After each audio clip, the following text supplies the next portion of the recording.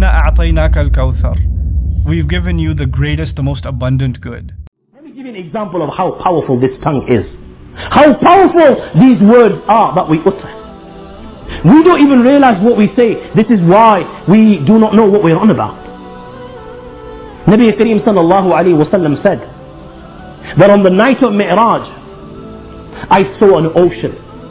And this ocean was so big that only Allah subhanahu wa ta'ala knows the limits of this ocean. And on the side of this ocean was an angel taking the form of a bird. And when a person says, Subhanallah, this angel moves from its place. When a person says, Alhamdulillah, the angel opens its wings. And the angel has 70,000 wings, and the angel opens 70,000 wings. When he says, Allah, wa la ilaha illallah, this angel begins to fly. When he says, Allahu Akbar, the angel dives inside the ocean. And when he says, وَلَا حَوْلَ وَلَا قُوَّةَ إِلَّا بِاللَّهِ الْعَلِيِّ الْعَظِيمِ The angel comes out of the water and it flaps its wings. 70,000 wings. From every wing, 70,000 drops of water fall.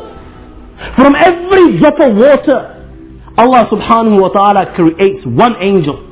From every drop of water, 70,000 drops of water, 70,000 wings. From every drop, Allah creates an angel and this angel glorifies the Almighty Allah and this angel keeps on asking Allah to forgive him right till the day of judgment.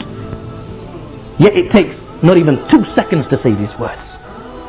When a person says La ilaha illallah Muhammad Rasulullah Allah has created a pillar next to the arsh and soon as a servant of Allah utters this word, this pillar begins to shake in front of the Almighty Allah. The Almighty Allah says to the pillar, Uskun, stay firm, do not move. The pillar says, Oh Allah, how can I stay firm when the sayer of this word has not been forgiven? Allah says, stay firm. Now the sayer of this word has been forgiven.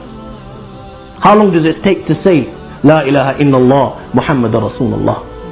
We're uttering these words at this moment in time and this pillar is shaking in front of the arsh of Allah subhanahu wa ta'ala. According to the hadith of Tabrani, Subhanallah wa bihamdi will not even take a second. Prophet sallallahu said, 124,000 deeds are written in his account. Subhanallah wa bihamdi and the angels have written. When a person says, La ilaha illallah wahdahu la sharika la, أحدا صمد لم يلد ولم يولد ولم يكن له كفوا أحد It takes 3-4 seconds and the angels according to the hadith of Tabrani Nabi Kareem sallallahu alayhi wa sallam has said that the angels have written 2 million deeds in his account 2 million deeds Today you and I we have no time for the small things in life We're thinking about big things, big battles Yet it will, it will be these things that will help us tomorrow on the day of judgment